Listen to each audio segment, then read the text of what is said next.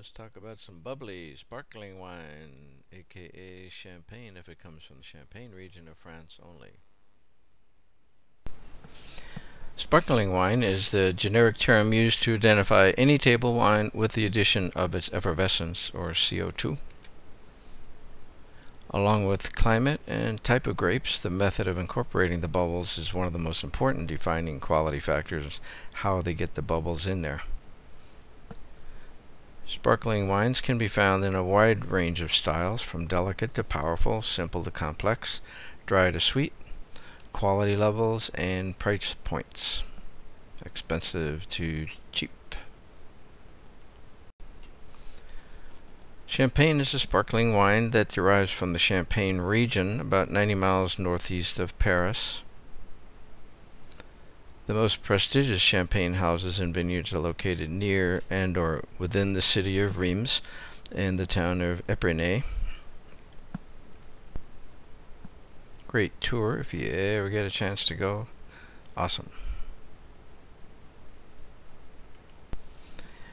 How champagne is made, there's only one question on the test, so just relax and enjoy uh, how champagne is made. It's, uh, it's a cool process and fun to know, and you can dazzle your friends and uh, boss with just a little bit of information that you remember from this. Look for red and bold on one slide, and that would be what you do need to remember for the test. Other than that, you're just enjoying and learning something. Grapes are harvested early, uh, usually late September, to maintain their crisp acid levels and low sugar content. Since champagne utilizes two separate fermentations, the grapes are harvested with low sugar levels to achieve a lower amount of initial alcohol. First fermentation is used to create the initial base wine. Basically, at that, at that point, it's a table wine. And then the second fermentation produces the carbon dioxide, the bubbles.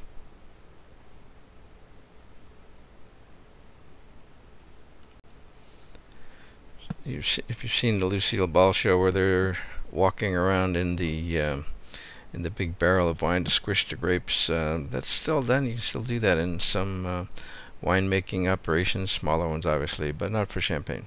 The grapes are pressed gently with a wide device to prevent excess time traveling through the skins in order to limit the juice in the skin contact, uh, because typically you don't want it red, although there is a rosé champagne. The juice is then placed into stainless steel tanks or sometimes oak barrels where the first fermentation takes place in order to create the base wine. So the first fermentation creates the base wine known as the vin clair and on the right there you can see the big uh, huge vats that they uh, put it in to ferment the, the uh, grapes sit in there and uh, sometimes they can be in those oak barrels and then we have the Cuvée Assemblage, blending of multiple base wines from various years, often dozens of different wines to create a desired consistent house style. So year after year, some years are colder, hotter, wetter, drier. Uh, so they don't want to, uh, uh, champagnes, unlike wines, they don't want it to be different year to year. They, if you have some Dom, it should taste the same as it did last year, so that's why they blend. If it's a vintage year, however, if it's uh, champagne uh, 2003, then um, you would put a smaller percentage of reserve base wines uh, and blend them. So it would have to be uh, predominantly from that year.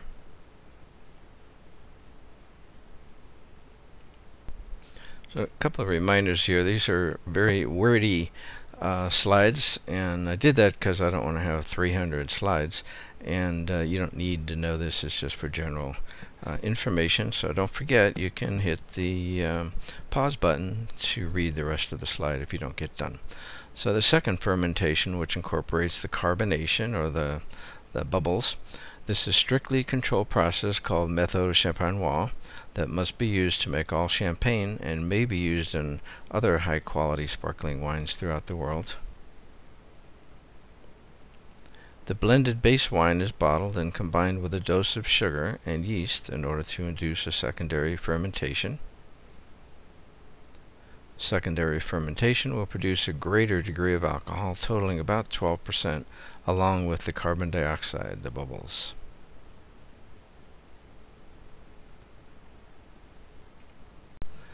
So you're starting to see why champagne can be expensive. There's a lot of steps and time in the process. So then we get to the aging part. At this stage, the bottles are cellared, put in a um, a, a, damp, uh, cool place. A lot of times it's a, a cave, and uh, I think they're chalk caves or something like that.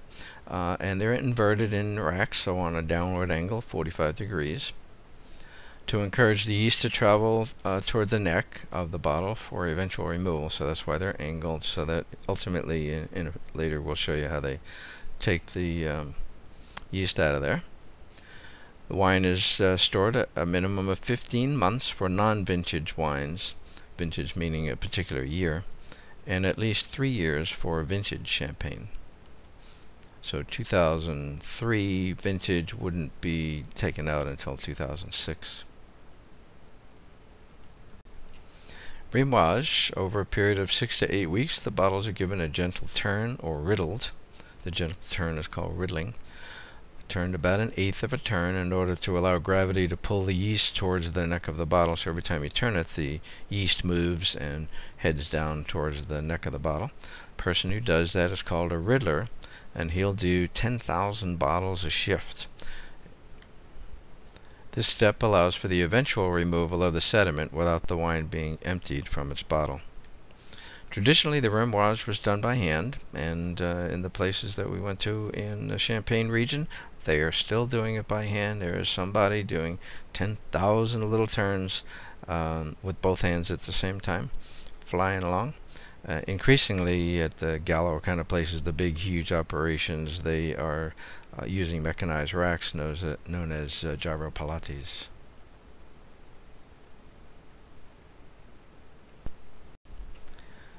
Degorgement is the process of removing the sediment from the neck of the bottle.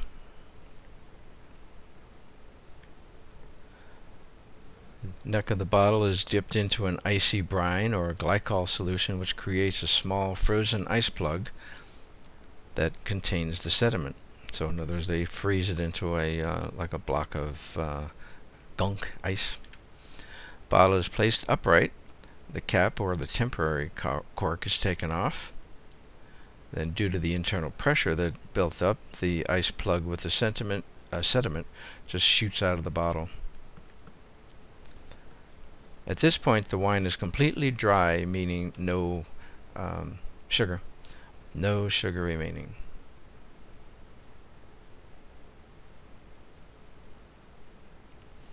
And then we need to add the dosage, which is the sweetening syrup. Remember we said there's no sweetness left uh, at this point, so now we need to add some sweetener. It's added to the wine to adjust the desired degree of sweetness and to replenish the small amount of wine that was lost during degorgement. So when you popped out that frozen sediment, there's now less wine in uh, in there. So they add some um, some uh, wine to the bottle and uh, some sugar, dosage. The levels of dosage, so you'll see this on the side of a bottle. Extra brut is very dry, so there's not much sugar. Dry doesn't mean it's, I mean, it's wet, obviously. so dry means lack of sugar. So extra brut would be very dry. Remember that one for the test. Remember I told you to look for one slide. This would be it. Extra brut is a type of champagne which would be very dry. Brut, which would be dry, uh, 0.05 to 0.5. That's the most popular style Brut. Extra dry, uh, which is semi-dry, 1.5 to 2% sugar. Sec, which is slightly sweet, 2 to 4% sugar. Demi-sec, which is sweet, 4 to 6% sugar. And doux, which is very sweet, 6 to 10% sugar. So remember those two. Doux would be very sweet, 6 to 10%. Extra brut would be very dry, 0 to 0.05 sugar. And you would see that obviously on the label. We're getting close to the end here. Now we need to put it in a bottle and cork the bottle. So sparkling wines are distinguished by their effervescence or CO2 bubbles which creates pressure within the bottle equivalent to 5 to 6 atmospheres, 80 to 120 psi. Carbonation is more stable at cold temperatures and unstable at room temperature. Each bottle also contains a punt end or indentation in the bottom of the bottle to help stabilize it and secure it as they're making it and that's actually where you're supposed to put your thumb when you pour it. So you don't want your hand to touch any more of the bottle than it has to because you warm it up. The bottle is then sealed with a cork, secured with a wire muzzle. Then the bottles return to the cellars for more months of uh, storage until it's shipped.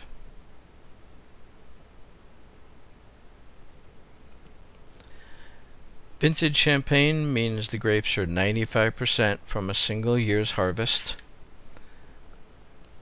They're released at least three years after harvest, after it has gained depth and complexity through aging has the ability to be cellared for several years after you buy it, even up to a decade be before consumption. So you can keep it up to 10 years before consumption, although champagne generally is uh, good to consume when you get it. But you can keep it if it's a real good one. Vintage champagne is expensive and considered to be prestigious. It pairs well with lobster, heavily aged cheeses, foods served with rich sauces.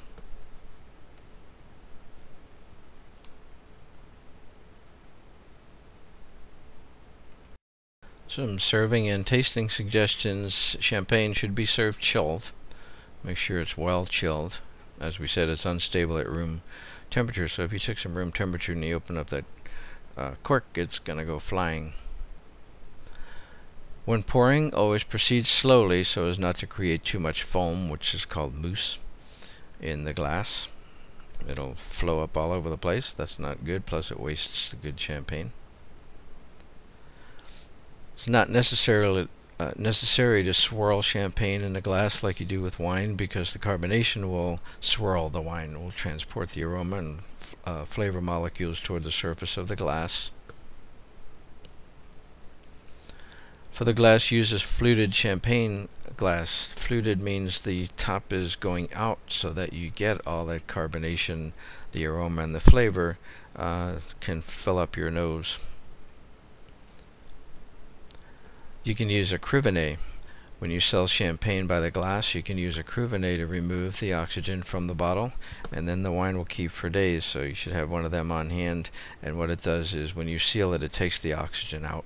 So the champagne will last longer. Otherwise, the champagne is going to be no good in whatever, a half hour or so. The best known champagnes are also the expensive champagnes. They're in hundred dollar and up range, and uh, you can pay five, six hundred dollars easily uh, for these. Dom Perignon is certainly the most famous of the champagnes.